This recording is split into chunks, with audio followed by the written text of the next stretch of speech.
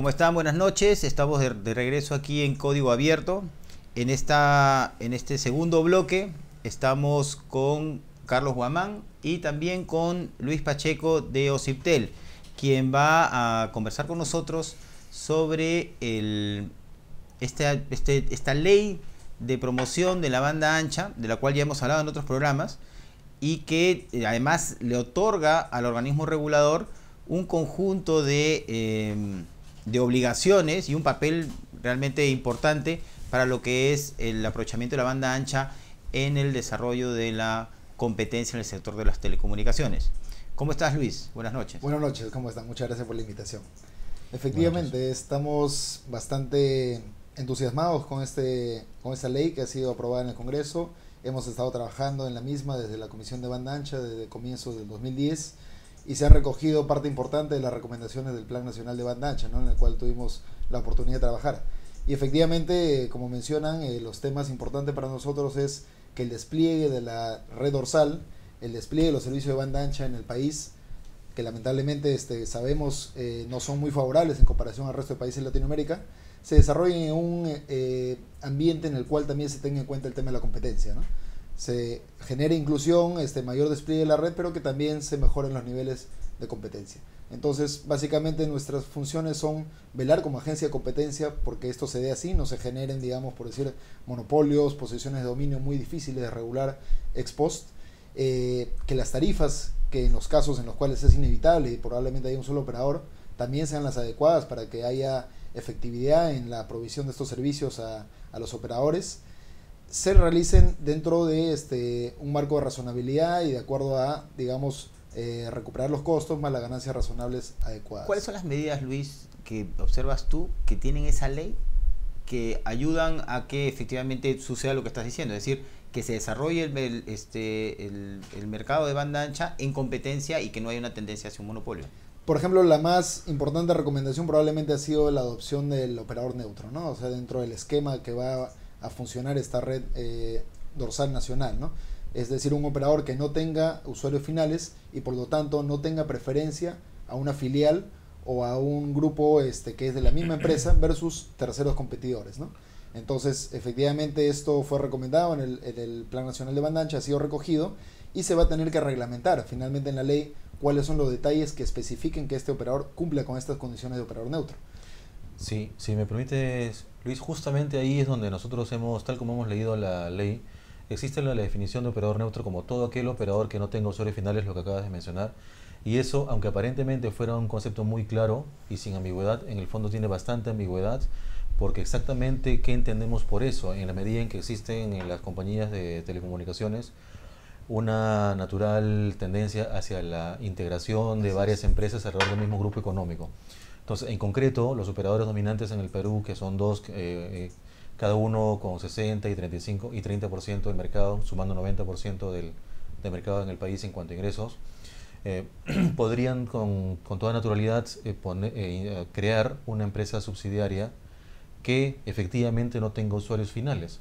Entonces, ahí cómo es que podría entenderse de acuerdo con, con los principios que busca la ley, definir con claridad qué significa operador neutro ese detalle va a tener que estar finalmente en la reglamentación, ¿no? Y finalmente cada institución participante, justamente al final de la ley se especifica cuáles van a ser, básicamente OCIPTEL y el Ministerio para el tema de eh, la definición de todas las características de este operador, van a tener que determinar, eh, digamos, a nivel de sus instancias correspondientes, ¿no? En el caso del OCIPTEL probablemente a través del Consejo Directivo. Pero un poco adelantando lo previo, eh, efectivamente, ¿no? Se podría decir de que hay hasta tres categorías de operadores que podrían eh, participar en, y que cumplieran estas condiciones. ¿no? Una de ellas sería la que sea un operador nuevo, totalmente distinto a los que existen actualmente. Una segunda categoría podría ser que un operador existente en el mercado cree una empresa totalmente distinta, ¿no? que no sea una filial. Sino sea una empresa totalmente distinta en la cual se pueda efectivamente eh, revisar todos los contratos, todas las ofertas que hace una empresa hacia la otra. Pero igual de propiedad 100% posiblemente del... Probablemente, ¿no? Pero eso, como digo, tendría que evaluarse, ¿no? Y un tercer escenario que más bien ya queda la duda y probablemente más bien no cumpla con estas condiciones sería que sea solamente una filial. Recordemos, por ejemplo, que varias empresas en este momento están en proceso de fusión y más bien de lo que eran anteriormente probablemente empresas separadas, ahora se están fusionando. Entonces habría que evaluar si es que estas filiales nuevas dentro ya de una misma empresa cumplen con estas características de que se pueda, por, ejemplo, evitar los subsidios cruzados, las preferencias de una filial respecto a la otra, y lo más probable más bien es que esto no cumpla estas características, ¿no? Pero es un tema que vamos a tener que evaluar. Algo importante es que en el sector de las telecomunicaciones no hay control de fusiones. Exactamente. Entonces, en esta ley, el espíritu de la, de la norma es que sean empresas separadas. Así es. Es decir, está de hecho está impidiendo que haya una fusión entre, entre, entre las empresas, ¿no? Entonces, de, alguna manera es una es un este es un es una primera es una precondición a un control de fusión por lo menos entre en, ese nuevo operador. Efectivamente no o sea probablemente entonces estemos hablando solamente de los dos primeros escenarios no descartando el tercero. Y entre estos dos primeros escenarios también obviamente reconocer que el primero es el que tiene las mejores digamos salvaguardas intrínsecas en el proceso a que no se generen estos posibles efectos anticompetitivos que también se podrían tratar de evitar en el segundo, pero obviamente con un costo regulatorio mayor. ¿no? Precisamente ahí el, tema medular que puede eh, ser el sustento para una opción versus, versus otra es, dado el principio de competencia que busca la ley, no es mucho más eficiente para el desarrollo del mercado que sea un operador neutro puro, llamémoslo así, en la medida en que el costo regulatorio para la auditabilidad de los de la información del operador eh, en, el, en el escenario 2 que planteas, no sería muy oneroso y probablemente con no tan perfecto como el desarrollo del mercado lo exigiría? Sin duda, ¿no? Efectivamente. Pero este esto es un tema que necesariamente va a tener que evaluarse a nivel de la reglamentación, ¿no? Pero obviamente desde un punto de vista teórico lo que dices es totalmente cierto, ¿no? O sea, estos costos van por el tema de la supervisión, por el tema de la efectividad, por ejemplo, de que una empresa eh, pueda establecer en condiciones de acceso, de tiempos de, alta de un servicio, de probablemente reparaciones, eh, algunas condiciones mayoristas que probablemente solamente cumpla una, y etcétera. Una serie de elementos que tendrían que evaluarse. ¿Cómo efectivamente se van a regular? Recordemos, por ejemplo, que todo esto está bastante bien regulado en lo que es el reglamento de interconexión, el tubo de interconexión, pero ha tomado varios años desarrollar esto, ¿no? Y, y, probablemente aquí también, ¿no? O sea, en algunos si se quisiera generar algo similar, va a tener que pasarse por un proceso bastante largo. Lo que se podría sugerir también a manera de, sin adelantar opinión obviamente, porque como digo, en realidad las instancias correspondientes van a ser de cada institución la que finalmente decidan, es establecer, por ejemplo, un esquema de rondas, ¿no? O sea, efectivamente, a la hora que se liciten estos este, servicios, puede decirse que una primera ronda solamente se acepten operadores totalmente nuevos si ningún operador viniera, pasamos a una segunda ronda en la que ah, se admite a estos operadores ya existentes, pero con empresas totalmente separadas. Y bueno, mecanismos de este tipo, por ejemplo. ¿no? Pero en el caso que se elija esta segunda alternativa, definitivamente van a tener que ponerse todas las salvaguardas para que se genere competencia y la forma como se van a finalmente evaluar. ¿no? Ahora, este Carlos, eh, Luis, ya poniéndome un poco como las situaciones extremas, ¿no?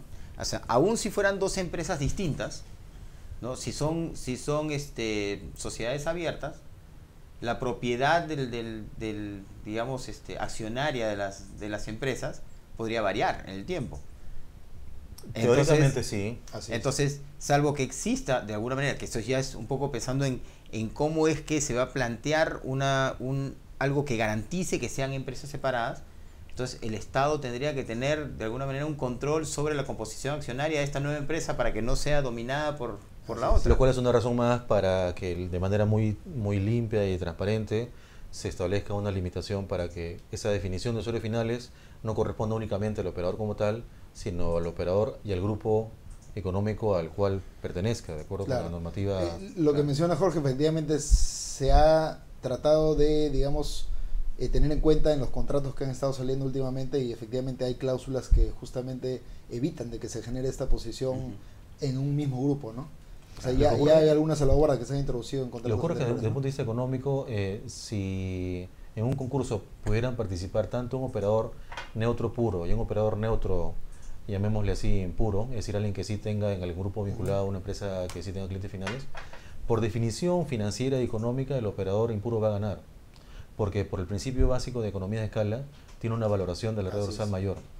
Entonces, eh, no habría forma de que por libre juego del mercado vaya a ganar un operador neutro puro. Ese es el motivo por el, A, a por el menos cual... que hubiera, por ejemplo, este esquema de rondas. A menos que, por supuesto. ¿no? Así es. Claro, que compiten, compiten puros con puros. Primero, solo los puros. solo los es. puros. Y son esquemas que se han evaluado anteriormente y, y se han dado. Y no están mundial, descartados. No, no, obviamente, como digo, tendrían que evaluarse y finalmente este, decidirse su implementación, pero son opciones, ¿no? De acuerdo. Así es. El otro principio, Jorge, es el de subsidiariedad. Así es. Es decir, cuál va a ser el, el- el alcance de ese principio, porque una vez más en la ley está definido de una manera que podría ser algo debatible. Lo que está definido en la ley es que subsidiariedad es entendido como eh, que el Estado, o perdón, que el operador neutro solo va a tener presencia donde no existe actividad privada, Así es. un operador privado. Y no es ese exactamente el concepto de subsidiariedad. El concepto de subsidiariedad, tal como lo entendemos, es que eh, uno pueda intervenir en los, en los entornos, en los ámbitos geográficos donde no existan condiciones de mercado. Así es. Entonces es distinto, no es un matiz eh, trivial, porque actividad de un operador, si es de uno, pues no, es, no replica una condición de mercado. Por tanto, ahí cómo, cómo mira Ociptel esa... Y digamos, es un poco también lo que se discutió y se viene discutiendo también en la comisión de red dorsal, ¿no? Efectivamente, hasta dónde tiene que llegar el Estado en este tema, ¿no? Eh, dentro de las eh, disposiciones complementarias finales hay una que justamente dice, ¿no? Excepcionalmente por circunstancias técnicas y o económicas, y el económicas yo lo entiendo desde un aspecto, de un aspecto bastante amplio, ¿no? O sea, tanto regulatorias, de mercado, De competencia. eh, competencia, obviamente. El Estado se reserva el derecho de participar en el desarrollo de la red dorsal en zonas distintas a las previstas originalmente en el tema que se define como subsidiariedad, ¿no? Y efectivamente, por ejemplo, se discute, ¿debería tener este operador neutro también acceso a los eh, puntos de aterrizaje del cable submarino? O sea, Blurín y Máncora. Claro. Es una discusión que se está dando, ¿no? Probablemente suceda justamente lo que tú mencionas, ¿no? Que un solo operador tenga, digamos, este, el control de llegar hasta esos puntos o llegar hasta otro punto estratégico, ¿no? Correcto. Y si no hay en forma paralela una regulación eficiente de las tarifas que le cobraría este otro operador por tránsito, probablemente todo el proyecto no tendría mucho sentido, ¿no? Entonces, hay dos temas ahí, ¿no?